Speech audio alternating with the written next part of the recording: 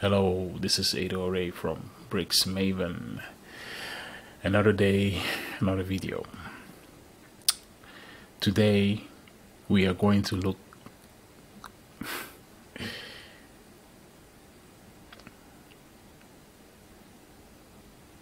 what Hello, this is Ado Ray from Bricks Maven. It's another day, so another day, another tutorial and today we'll be looking at breakout images. So there have been uh, some uh, videos created already about breakout images but I just wanted to make a video where I just go through all the different kinds of situations you might want to use the breakout image technique on and just go through them one by one explaining how it actually works so that once you encounter the same situation in your next website project um, you easily understand how it works and you'll be able to easily implement it without looking for a reference or without um, you know look have to having to look up a tutorial. Because if you understand it obviously you can always come back to this tutorial and watch it.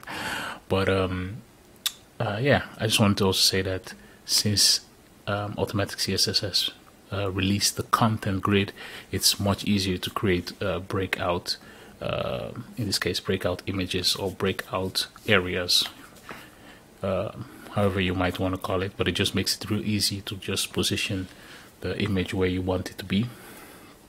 I must say it makes it really easy.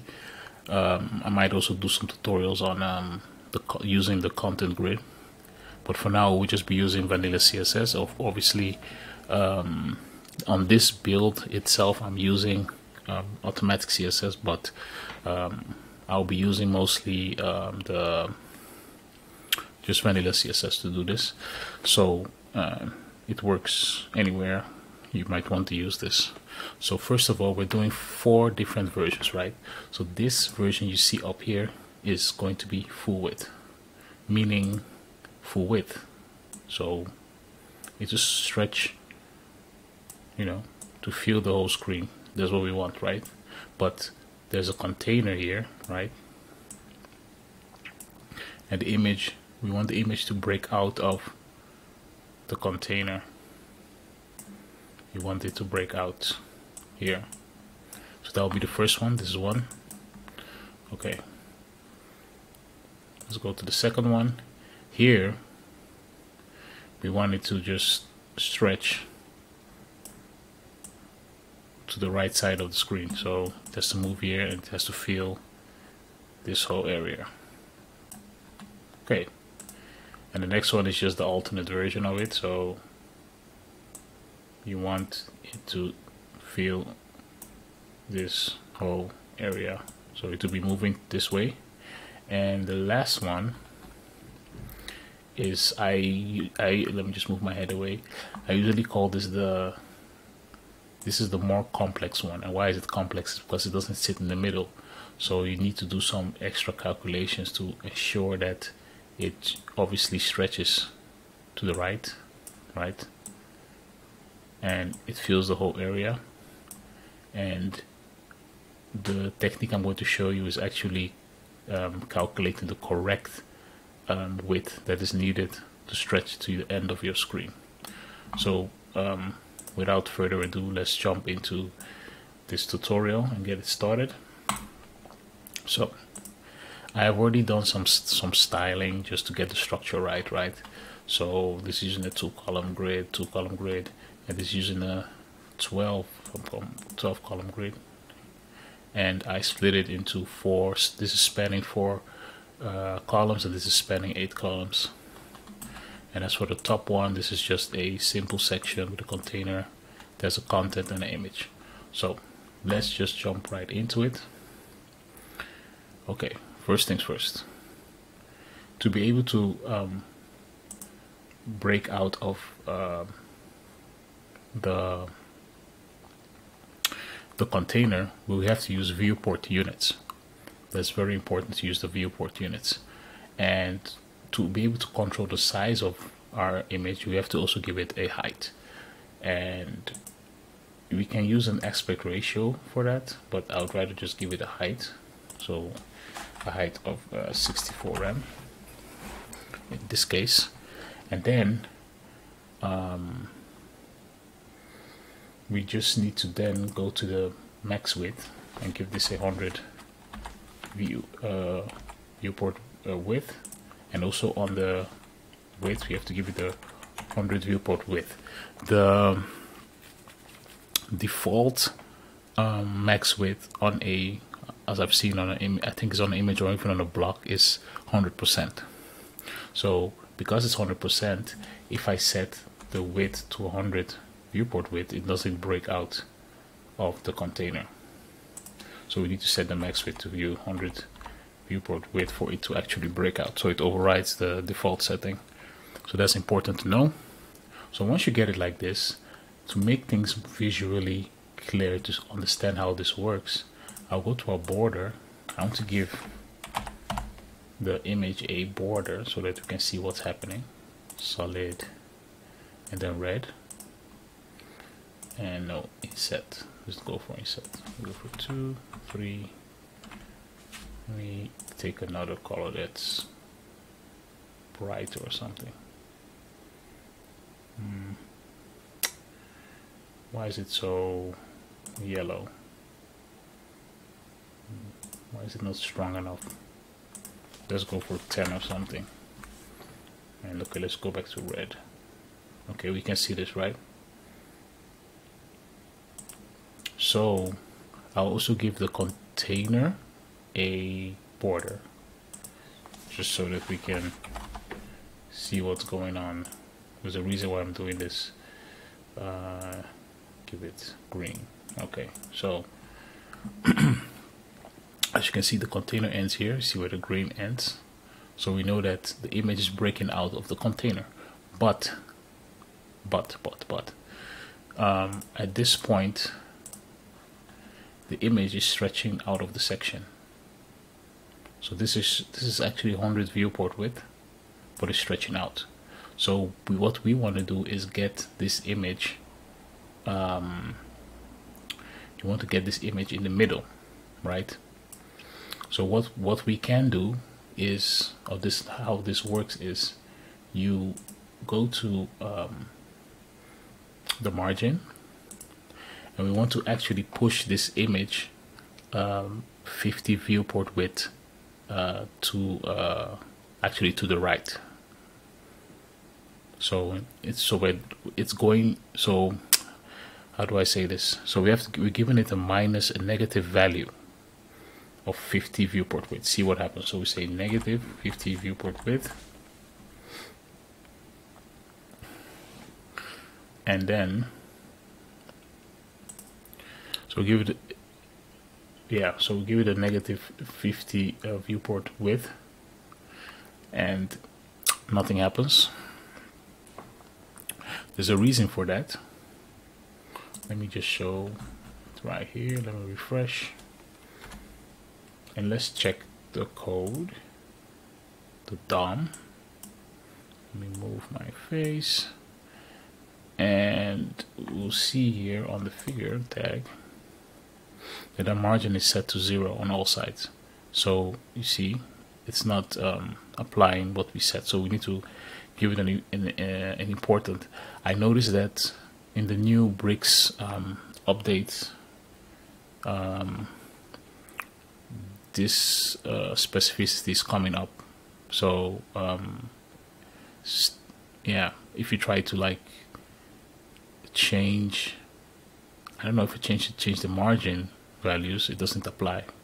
So I don't know if you guys have experienced that but that's what I experienced. So I need to add important here. And when I was first doing this and trying to understand this, I didn't know how it actually centered um, the how it actually got the image to fill the space of the of the sorry fill the space of the whole screen but the way that I understood this is I did the following so I zoomed all the way out somehow I was just uh, I just I think it's just by instance I actually understood this. So I zoomed out to the maximum, right? So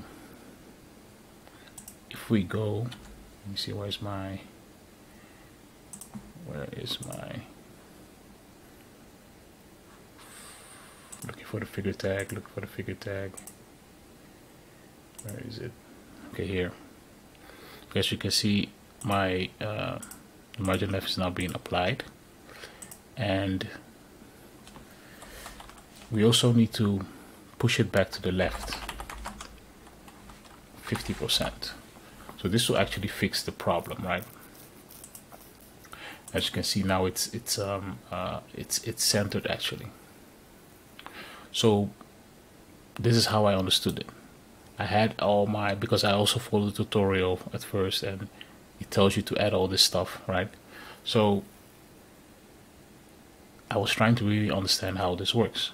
So by turning these things off I totally understood how it works. So if you if you push if you set the positioning the left to 50% it will actually look it pushes um, it pushes the image to the middle of the container right? The container is green and look it lines up in the middle with other images. Because before without the positioning it goes to the end it goes to the beginning of the container. So by pushing it to the middle it's in, it's in the middle of the container. And then by adding the margin left minus 50 viewport width so it's pushing it back 50 viewport width it ends up in the middle right? I hope I hope some of maybe some of you got it maybe some of you didn't get it. But let me just let me just um, replay let me just repeat it again. As you can see the image is sitting at the edge of the container. If you say left 50% it will push it to the middle. And we all know that from the middle from the middle of the screen to the edge of the screen is 50 viewport width right? So if I give it a minus 50 viewport width it should now align in the middle. And you're basically done. And look the bar I can there might be a little bit uh, space. Might be the the space bar causing the overflow but um, if we just go back on my section we'll just apply the overflow hidden and basically you're done. And that's how you actually center this. So to finish things here I'll add a 50% and it's centered. And on my uh, section I had hidden. So this is done. I'm not going to really like go into responsive. It's just to show you how to do it on the desktop. Okay so we move on to the next one. I hope I hope that was I hope it was clear what I just explained. If not let me know because um, I'm I recently started making all these videos and I'm trying to um, explain the things I learn. And I notice that obviously the more I do it it should get better over time but I also want to get feedback from you guys how uh, if my explanations are clear right? Okay so this one is a little bit more easier to do. I'm also going to add a I'm going to do the same thing I did with the first one. So I'm also applying a border 5 pixels uh, inset green. And also the image I also give it a border. 10 pixels. Inset all sides. And yeah. Red. Okay so it's set. So now this one is a little bit more simple.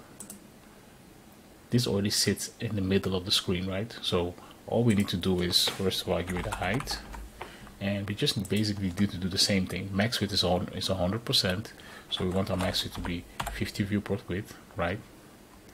And then we want our width to be 50 viewport width.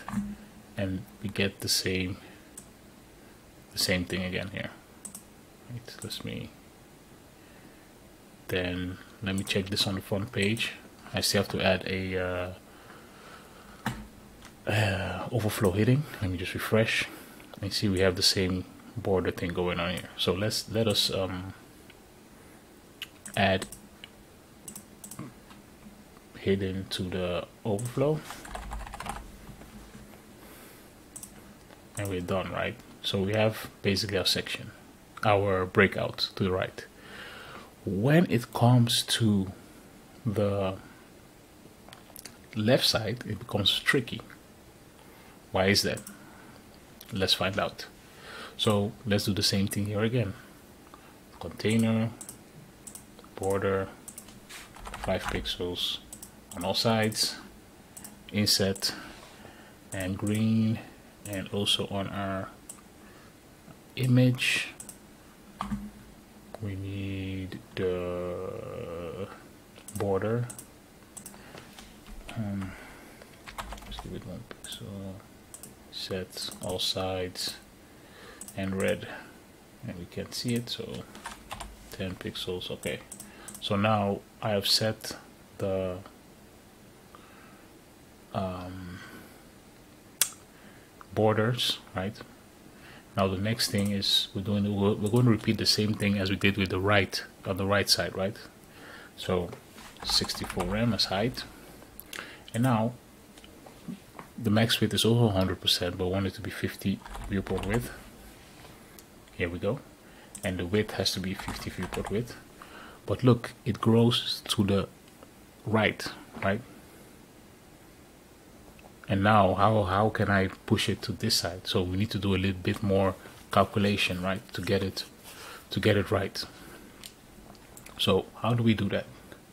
So um, since um, since this is this way right the width is 50 viewport width the max width is 50 viewport width it is pushing it to the right side it's basically doing this right? So if it's on the right side it works directly. If it's on the left side it pushes it uh, to the to the to the right.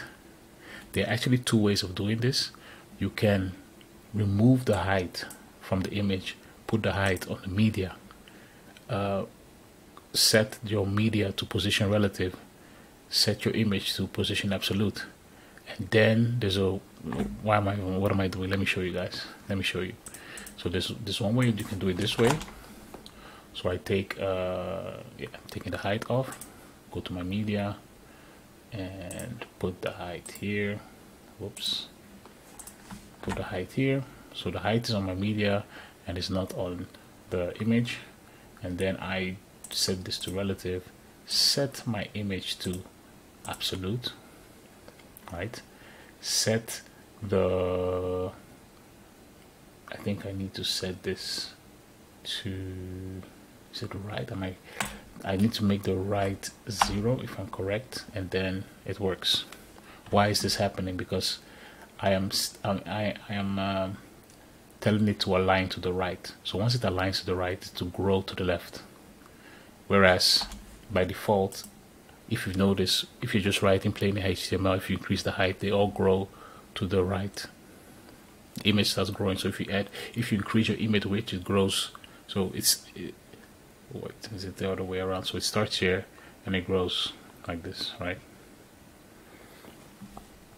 So by setting this to uh, zero it will it will it will anchor itself to the right side of the of the media uh, element and then to grow that way.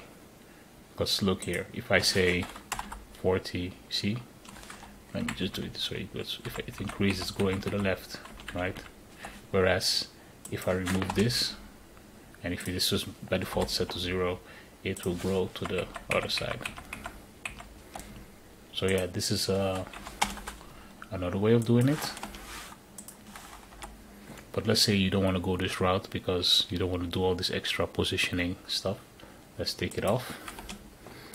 There's another way of doing it. I'll put the height back. Remove position relative from here remove this height. We're just going to do a calculation. And I'll be doing that on the browser on the front end so that we can now look at what what is going on with the image and the containers okay? So we go to the we need to be on the figure figure element. And here again we're going to have to use um, important again. We're going to have to use a calc function. So first first things first let me show you. If I do margin we need to do margin left because we want to push it to the left so margin left in this case. And then we say um, do minus 50 viewport width. Nothing happens because I need to do important important. Look what happens. If I do minus 50 viewport width it pushes the image outside of the container right? To the left of to the left side of the screen. Now I want it to be in the middle. And the only way to get it there is to then um, after uh, pushing it to a negative 50 viewport width is to then add an, is to then add 100% to get it to the middle. And why is that? Because look at this. If I was just saying like margin left 50% okay I'll have that. Important. If you if you add margin left 50% it moves it to the middle of your uh, media element con uh, container right? Sorry your media element or your media block. If you say 100% it moves it to the edge just outside of your media um, your media block. So by combining the two this is what we get. So we say calc and here I'll add the minus 50 viewport width plus a hundred percent. We get it at the middle. So first thing it moved it it moved it to negative 50 viewport width that's outside of the container but to get it at the middle I have to do uh, plus 100 percent right to get it to the mid to the middle because the the width of the media block is 100%. You get it? So to move it, to make sure that it moves back to the middle, we need to move it 100%.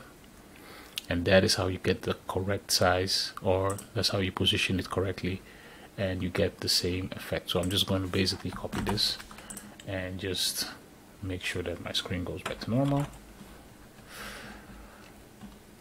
And where's my media? take the media and just put it right here boom so there we have it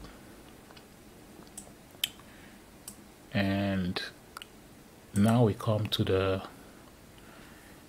to the model of breakouts the one that can be very complex but once you understand how to do it it's uh, quite easy. So let's do the same thing that we do again. Let's just add our borders. Um, and the reason why you know maybe you might not need a border that's how I understood it. So I'm trying to explain it through how I uh, finally understood how this worked. So uh, I hope it's beneficial to you guys. Okay so it also give our wait it's in the way. My head is in the way. And the controls of Loom is in the way. So image. Uh, let me see. 10 pixels. Uh, also inset then red. Okay we have oh keep in mind that the the border image are one right? I mean may see that it's pushing the image in but yeah. For those that might think uh, that it's uh, not part of it. Okay uh, yeah. So to get to get this right you might say okay 50 viewport width. We know that's not 50 viewport width because it's not the image is not sitting in the middle of the of our grid container we know that our grid container consists of 12 columns right? So if we know that our first column spans 4 and our second column spans 8 and we know that uh, if we divide 12 by 2 is 6 so if it spans 6 columns 6 columns would be the middle right? But in this case our image spans uh, 8 columns. So we're we need to know how uh, what is the width of one column so that we can calculate two columns right? And those two columns we can add it to the 50 viewport width to get the correct width. I hope I explained that very well right? So um, if not maybe by making it visually for somebody right? So to give an explanation this is the middle I have 12 columns right? I don't know if this is correct I didn't count. So this is six columns here six columns here. This will soon disappear because Loom doesn't keep it long. Yeah there it goes. So we have the six columns here six columns here. This is the middle right? This is eight columns. This is four columns. So I'm, I need to know how long uh, so I'm, so uh, it's two columns longer right? This is supposed to be 50 viewport width see? So uh, I need to know how long how what is the width of one column? And we can calculate that because we know in this case my container width is uh, 1280 pixels. So I can divide that by 12 and to give me the size of one column. And then I can do that times 2 and then plus 50 viewport width. And then to give me the size to give me the size of this thing. So I will know what is the size of this. So I hope this drawing of mine made it much more clearer what I'm trying to do here. So I'll finally get the size of this thing. Okay so let's get started. So we're just going to use a calculation. Okay and ACSS has ACSS has a variable for your content width. So uh, that is something that we can use. Make my camera moved. Did you see that? Okay so let's get started. We have to go to our layout, give it the correct height, 64 rem, and then we need to um, add a calculation to our width. So it's calc and it's 50 viewport width like I said it's plus. And here comes the calculation. I, I need to do this twice if I'm not yeah so we have our like I said my I'm, I'm not going to use the variable I'm just going to use um, my container width um, the value of my container width which is 1280 in your setup it can be 1400 it can be 1120 whatever content width you set you can use it here um, so it will be 1280 pixel divided by 12 so by doing this I already know what one column is.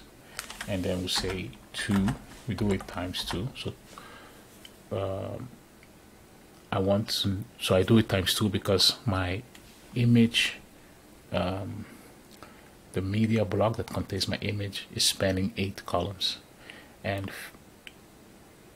uh, uh, uh, um, from this if it was spanning six columns I could have done 50 viewport width and it's done. So I need to, to and like I said I need to know 50 50 viewport width plus two extra columns. So now we need to add our important. Oh no I don't need to I don't I don't need to do it here. My bad. I need to copy this and add it so now it will give me the correct size as you can see and don't forget to add your overflow hidden to remove the overflow. I will now proceed to remove the borders because I don't need them anymore. Remove the borders, remove the borders. Wait, let me just, let's first check out the last example on the front end. Now, there it is sitting perfectly. And, oh, I wanted to show you uh, one more thing. This is why um, I will copy this and wait, let me just, just put it here, save it. The reason why you need to um, set these things correctly is for the following reason. You can obviously just set your section to hidden, right? And then you do the following. You just say 100 viewport width or 100 viewport width. And then it stretches all the way out. And this is an exaggerated example because I know there might be some of you that might be trying to like find out what's the perfect width especially in this situation right you might be say you might be doing 70 70 and i've done this too right you might be trying to find out what is the what is the correct width? You know okay it's not it has to be more 62 let me bring this back to 62 okay. I think this is the correct width we save.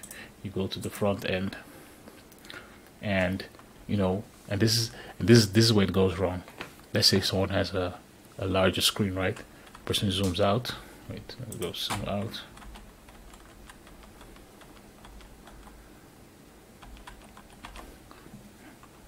Wait. I think I made it long long enough. If I was to let me let me see if I did something like 52. Oh no. Oh, I didn't save. Wait.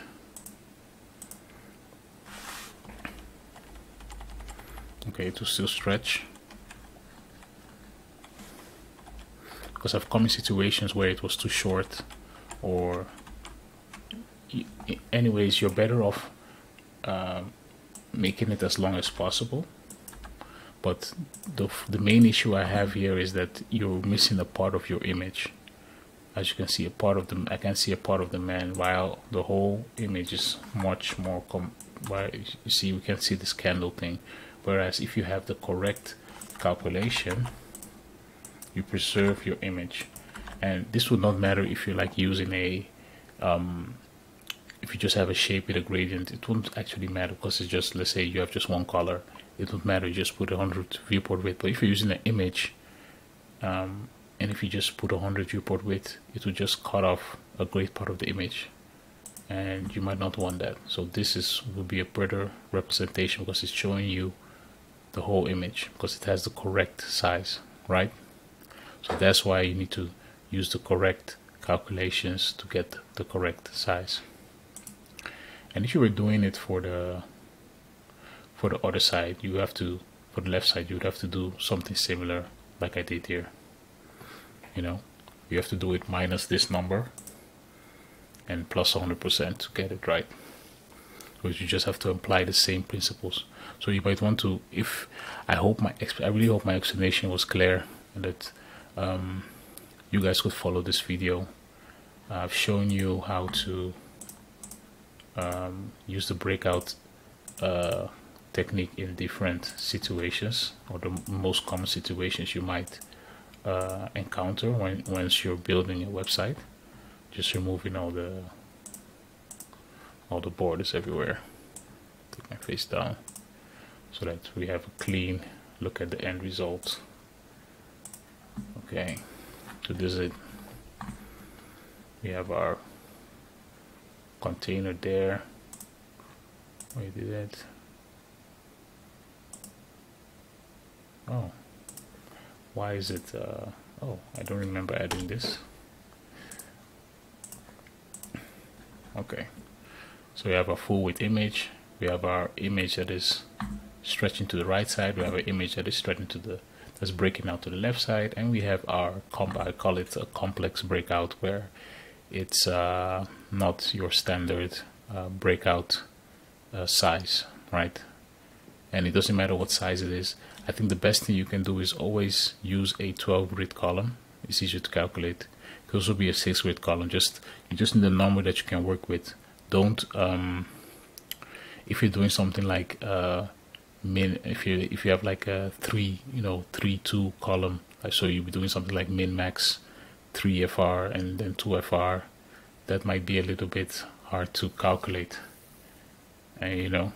So I would just say keep it easy for yourself you know use make it use an even number. You just need even numbers 12 uh, 8 uh, 4 it's easier to uh, calculate your sizes. So that's the end of it. Um, I hope this video was um, educational. And uh, once again if I missed anything let me know. If I could do something different if I didn't do it if I totally messed it up if I messed up the explanation let me know.